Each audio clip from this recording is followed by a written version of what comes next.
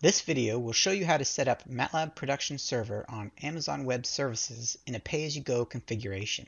MATLAB Production Server can be used to expose your MATLAB functions as microservices, run streaming analytics, and deploy machine learning and deep learning models for inference.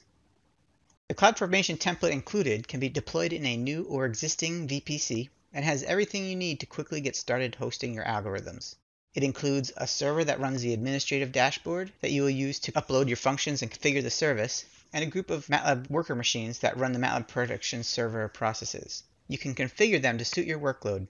The number of processes corresponds to the number of vCPUs on that instance. For example, the default instance type is m5.xlarge, which has 4 vCPUs and therefore 4 worker processes. Server logs get written to Amazon CloudWatch, and the MATLAB code archive is stored in an S3 bucket.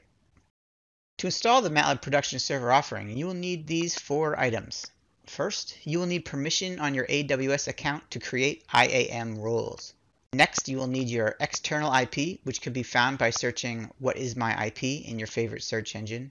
The last two items can be found through the AWS console. You'll need an EC2 key pair and the ARN to a valid certificate found in the certificate manager.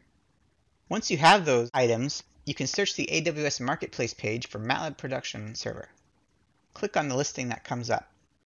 From the offering page, you can review the product overview as well as the pricing. You do not need to purchase a license to run MATLAB Production Server. Instead, you will be charged based on usage. For example, in the US, we charge 20 cents per hour for each worker process. Since the number of processes aligns with the number of cores, you will be charged differently based on the number of cores and the instance type you use.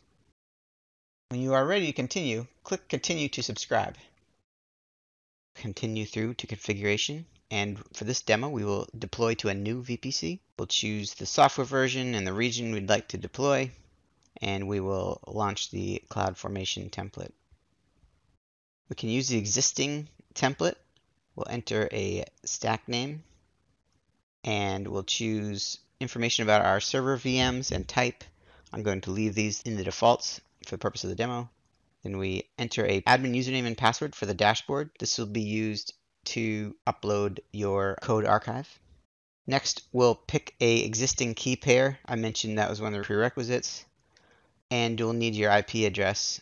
You can search Google or your favorite search engine. And we will make the solution available over the internet.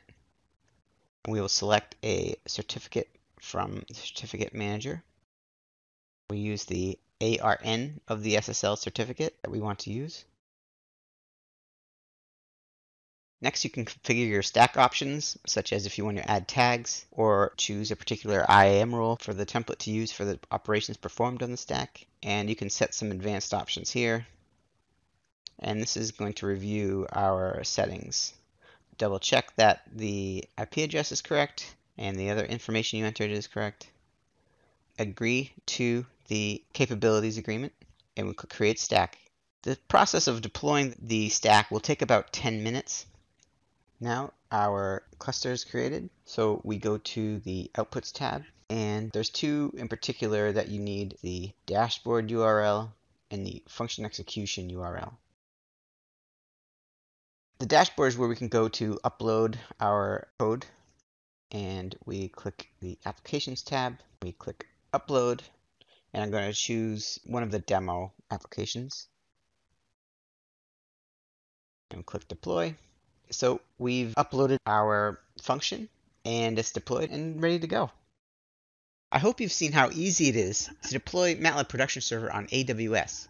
Please click the continue to subscribe button and start hosting your MATLAB algorithms on the cloud today.